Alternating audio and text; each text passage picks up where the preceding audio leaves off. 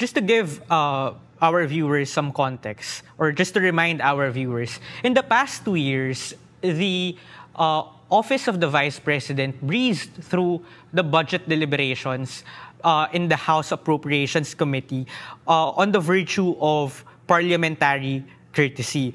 In 2022, in 2023, uh, natapos yung budget deliberations in under 20 minutes. So, Kong, walk me through behind the scenes. How did lawmakers know this time around that she will not be given parliamentary courtesy? Because kayo, Kong, you had questions prepared. Other Congress, uh, congressmen, other lawmakers, uh, they had uh, slides prepared.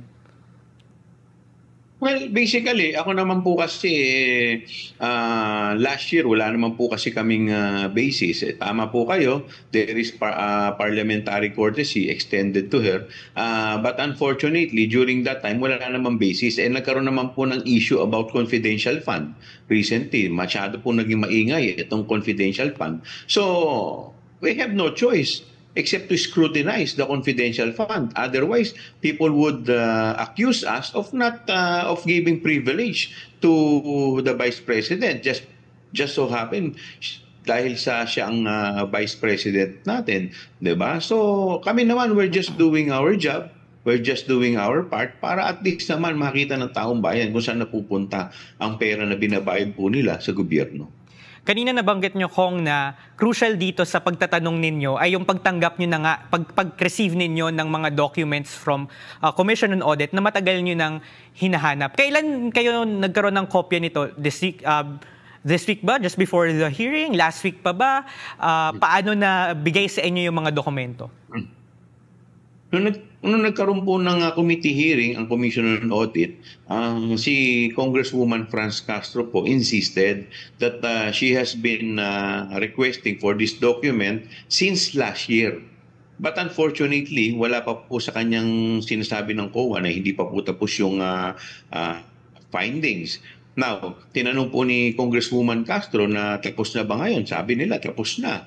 So, meron na ba? Meron na po. O, so, nung hinihingi po, at uh, sabi ng COA, hindi naman po sila, kasi nga confidential because of the nature of the uh, request. So, ang nangyari po, may justification pong lumabas and then uh, she requested uh, the COA to be subpoenaed, uh, subpoena duces tecum for this uh, document.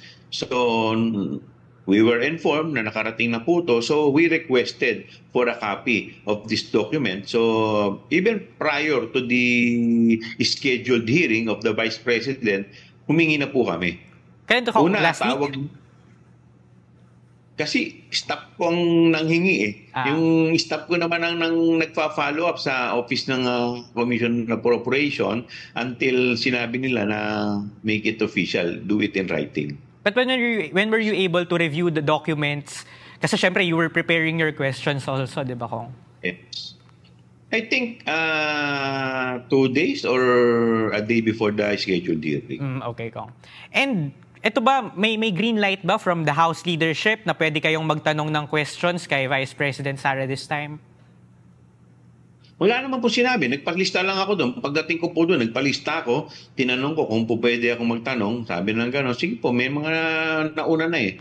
So, na nagpalista eh. So, nagpalista rin po ako ng pangalan ko.